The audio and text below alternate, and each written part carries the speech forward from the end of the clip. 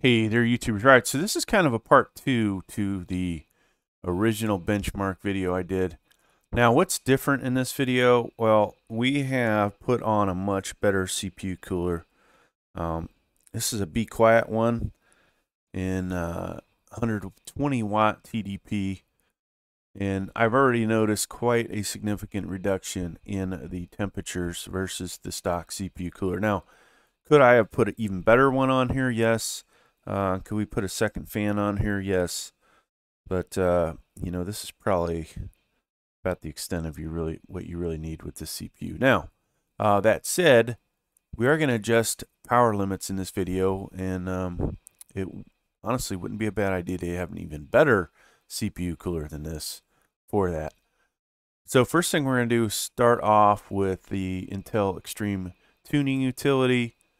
I'm going to run all the benchmarks and then we're going to go back, folks, and I'm going to adjust power limits here. Okay. Somewhere in here, we're even going to run this with uh, ThrottleStop. We're going to disable it.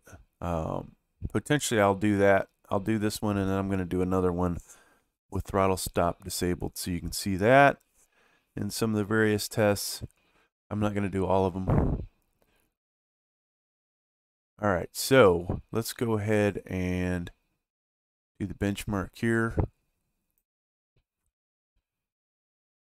Now, I believe the last time we ran this, 2522 was the number. We're also going to do Cinebench R20 in this video. And we'll do that with the with the new CPU cooler and uh, power limits kicked in. And I did run that one earlier, so uh, you'll you probably see the score that I did, but we'll see if we can uh, duplicate it. All right, so 2540, that's a uh, increase. Um, I've done this twice now. We've been uh, higher than the original scores, and uh, this temperature has been less. I believe it got up to uh, 82 previously. So that's a good sign, right? I'm going to clear this out. Actually, let's see one thing here. It's always a concern about thermal throttling, which we did not get. I'm going to clear this out.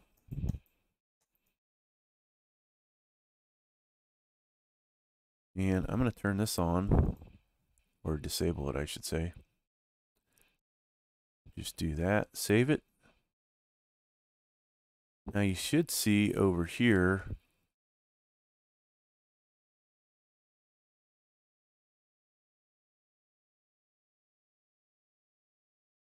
this should not go above the base clock, which it looks like it's cruising along at 2.59 gigahertz. Okay, so if I remember correctly, the base clock for the CPU is 2.6.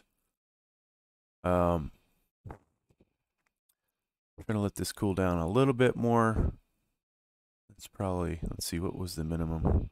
32. So that's as cool as it's going to get. We're going to run this again.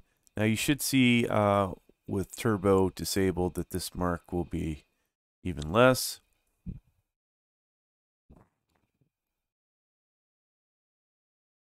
And what I'll do is run Cinebench first with turbo disabled, and then we'll enable it again, and you can see what it what it would have got with the CPU cooler.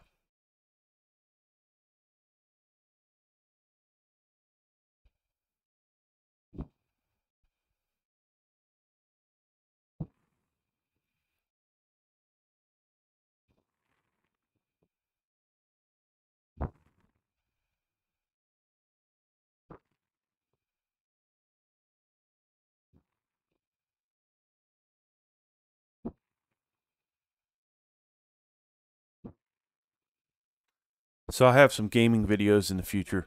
Wow, so um, big drop in score, but look at that highest temperature, 43. Um, as you've seen in my other videos, you know, obviously this is this is somewhat of a cooling solution in its own.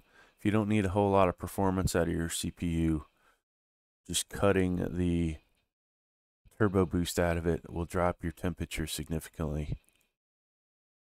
All right, so we'll start with uh, R20. Go ahead and hit the run. This is probably going to take forever, folks, just because of turbo being disabled. Let's see, though. Now, while this is going off, um, I will tell you eventually we're going to turn on, we'll turn turbo boost on here shortly. But uh, this score right here represents turbo boost with power limit set to unlimited. And we'll, we'll do that again here shortly. But uh, you see that score is actually higher than the 11600K shown here. Now, this 11600K was done in a B560 motherboard. That's why it's where it is. Otherwise, I believe this would score up about 4300 um, shy of the 10700K. But for an i5, that was that was a pretty big number.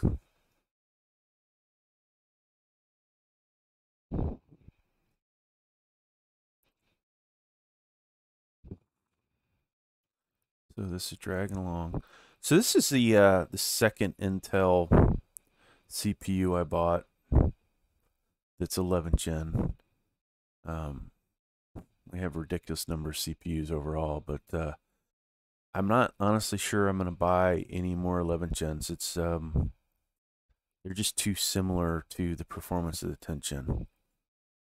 Even though amazingly the single core scores are, are ridiculously higher it's almost like they've turned into benchmarking monsters, but not necessarily that great gaming wise. So we'll uh, we'll hold off, I believe, uh, maybe six months from now or so. All the 12th gen CPUs will come out, and we're gonna probably invest heavily in those. I don't necessarily think we'll get one of each, but we will definitely get uh, i5s i7, i9. Right, I should say we'll get all the i5s. One i7, one i9, and then maybe, I don't know how many i3s there'll be, but we'll hit those too. So you see the score, 2362. This thing, this still makes it more powerful than i3 10320, according to this. This is run with uh, turbo enabled, so um, better performance, but much lower temperature than you would see with this guy because this thing's pretty high strung. So that's that's kind of interesting. Um, all right, so let us turn turbo back on. That's the end of that show for the day, folks, because then the benchmarks on here are going to be very exciting with turbo off. Um, eventually, I'll probably do a little gaming video, just like I always do, just so you guys can see it, see what the temps are. Right now, though, um, doesn't appear, here's the MSI Afterburner, doesn't appear that there is a new new revision of MSI Afterburner to uh, give me all the other stats that people like. Uh, it's only showing utilization and CPU temp. So, all right, so we've turned that back on, given it enough time to cool off, I believe. Yeah, pretty close. So I'm going to go ahead and punch it. And you should see the score um, shoot back up. It won't be as high as this, but it's going to It'll be much higher, folks.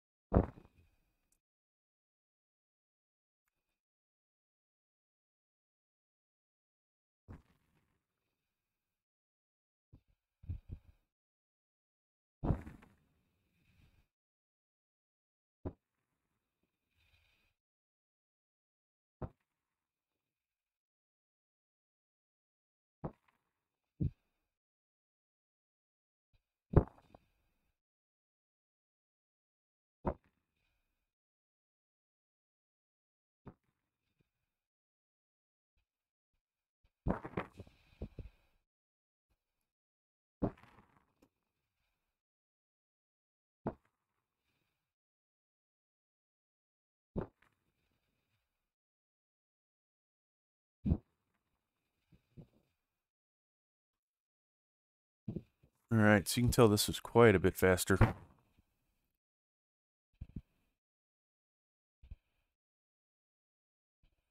And boom, 38.89.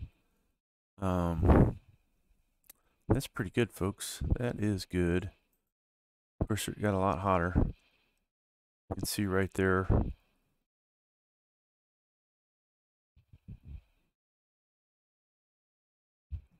Overall, not bad. All right, so this thing's cooling off. We're going to boost this up. This is PL1. And we're just going to go like this. That's unlimited, so that makes PL2 automatically jump up. We're going to apply it. We'll go over to the benchmark. And I'm going to let this cool off a moment, but uh, we're we're looking for 2540 to break that number. Will it happen? That's a good question.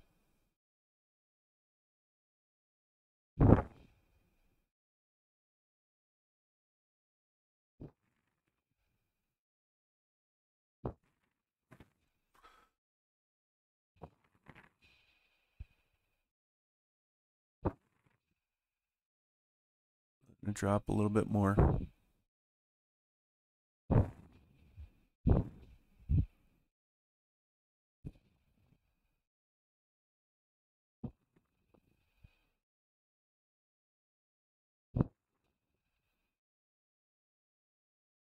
And all right, we're close enough. So we still haven't seen thermal throttling, power limit throttling. So those are good signs.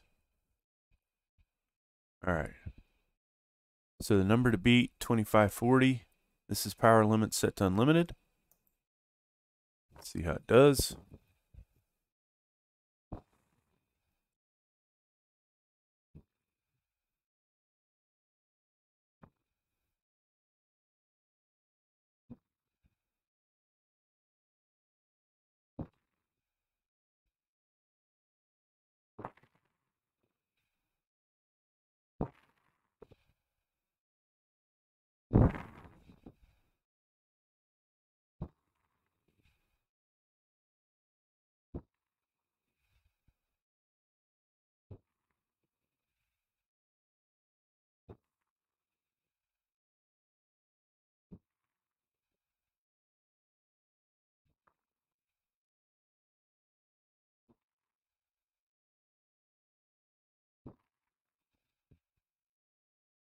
2535. So uh, was actually less.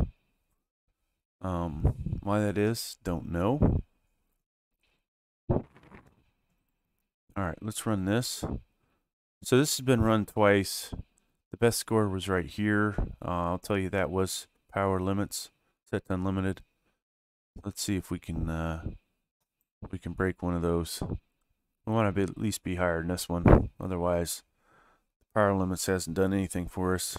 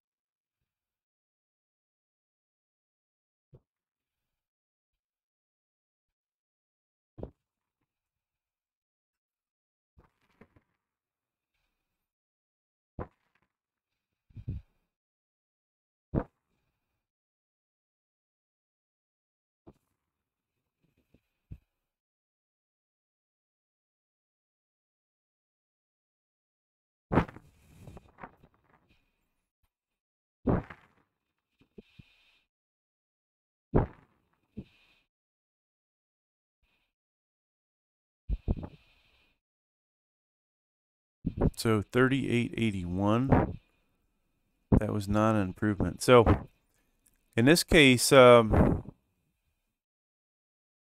we did not make improvements with the power limit set to unlimited. Now, why is that? I cannot begin to tell you why, folks, but uh, you know, usually Cinebench is higher with the power limits. And like I said, that was my highest that I've gotten with power limits, so um, potentially the CPU's running a little hot. But other than that, folks, that's that's all I have for this video. Thanks for checking out. Please like, please subscribe. Thank you.